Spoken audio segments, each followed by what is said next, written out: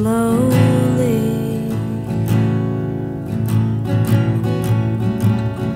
All the road I once held so lovingly now stands as only a grave.